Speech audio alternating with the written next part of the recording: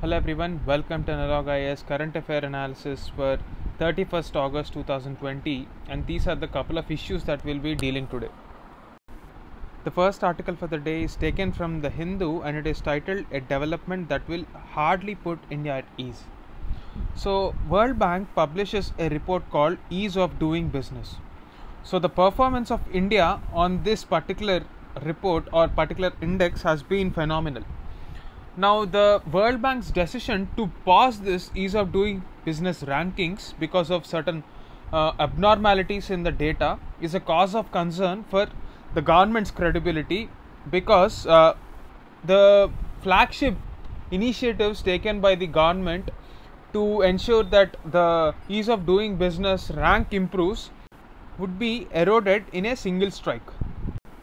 So the World Bank is conducting a review of the reported irregularities in ease of doing business rankings of 2018. This came in 2017 October and the 2020 version came out in October 19. So what are these irregularities? So the World Bank group's independent internal audit function is being carried out. The purpose was to check the procedures involved in data collection and also for the review of doing business and controls to safeguard this data integrity. So the culmination of this process will be followed by a retrospective correction of the rankings. The government's uh, flagship initiative to focus on the ease of doing business uh, through Make in India and other single window procedures has severely taken a hit with this. So the ministries of finance and commerce did not respond to any email queries posed by the journalists as well after this effective suspension of the rankings. So the need for this retrospective correction came in the light of the case of Chile and Russia which alleged the World Bank of uh, a flawed methodology to show them in a bad light and favoring their political opponents. So this controversy Uh, warranted World Bank to have a relook at the various parameters.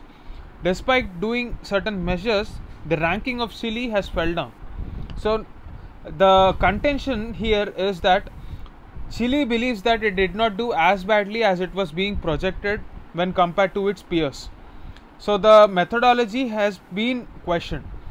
Now, if this methodology is being questioned, we have to remember that when it comes to India, the data is based on just two cities that is Mumbai and Delhi. So there are various other business centers as well uh, which are not actually captured by the World Bank's ratings.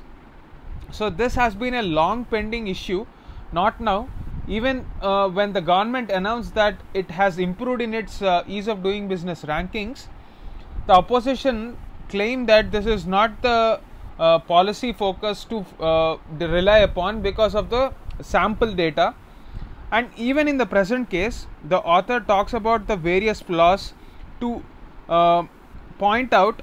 Say for example the maharashtra government has uh, repealed the boilers act of 1923 and the mandatory compliance of uh, inspection under that. This was done in the name of ease of doing business and has compromised on the safety issue of those particular uh, boilers and other uh, factories. So this self certification is also being considered as ease of doing business. So the main point of this author is the fact that just lifting away uh, all the restrictions and uh, saying that it is ease of doing business will not mean actual ease of doing business on paper. So there are two things when we have to consider what happens on the ground and what is actually on the paper.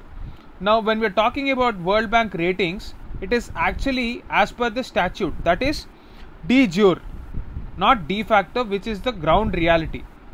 So, the author believes that we have to change this procedure as well to reflect the ground realities as well.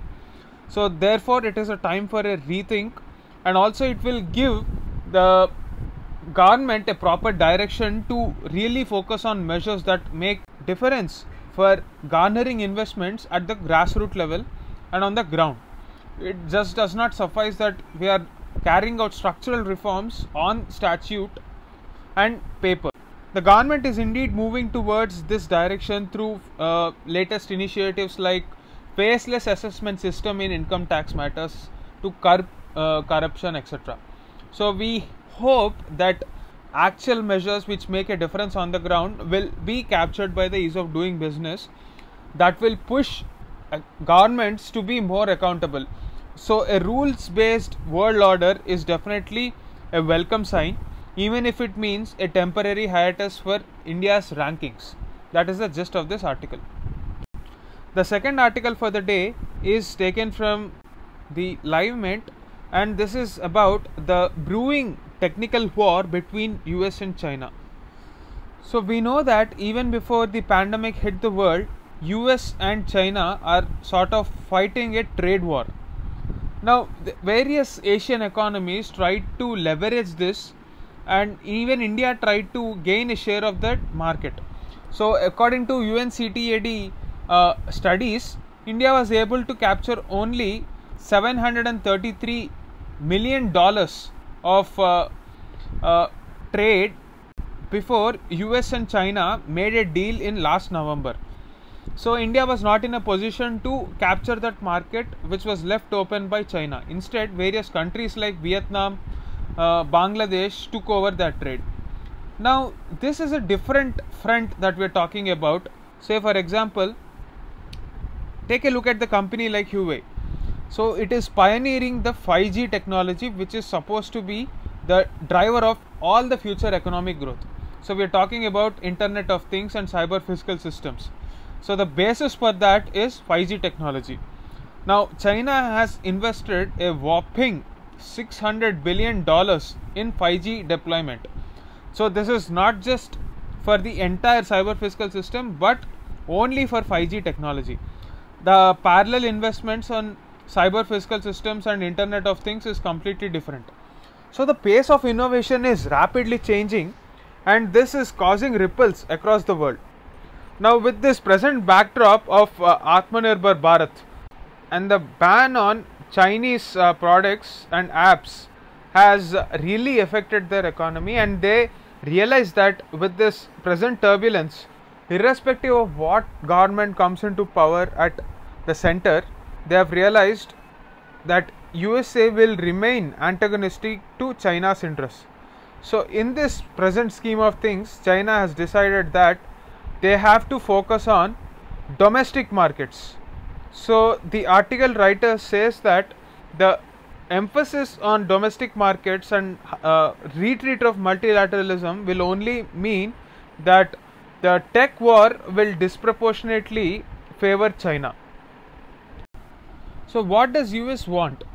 The deeper and less articulated reason is very strategic because simply put US wants a advantage over China and this can be done if we stop China from progressing.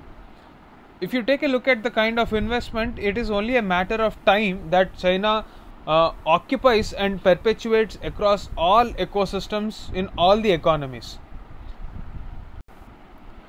Realizing this, even China uh, turned antagonistic towards USA.